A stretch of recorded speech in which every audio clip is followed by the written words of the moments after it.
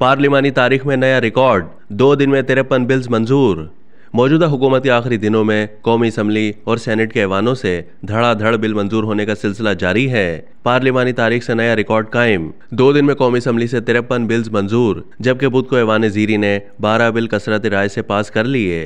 अरकान पार्लियामेंट का मौकफ है कि बिल्स की कॉपियाँ भी अरकान को नहीं दी जा रही। अरकान पार्लियामेंट का मौकफ है कि नई कानून साजी के बिल्स मुतल कमेटियों को भी नहीं भेजे जा रहे और नई कानून साजी पर ऐवान में बहस भी नहीं कराई जा रही। मम्बरान इसम्बली की जानब से ये खदशा भी ज़ाहिर किया जा रहा है कि जल्दबाजी में की गई कानून साजी के असरात होंगे। सिर्फ़ एक रोज में कौमी इसम्बली ने एक दर्जन से जायद बिल मंजूर किए और बाद शिकों में तो ऐसे बिल भी पास करवाए गए जो एजेंडे पर मौजूद ही नहीं थे। जुमरात सत्ताईस जुलाई को कौमी इसम्बली ने चौबीस बिल मंजूर किए।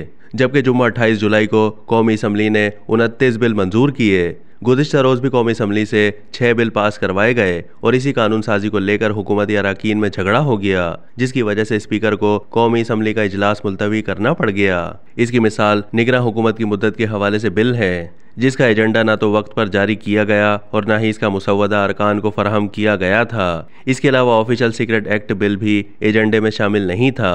ऑफिशियल सीक्रेट एक्ट और आर्मी एक्ट में तरामीम के बिल बगैर बहस के मंजूर करवाए गए।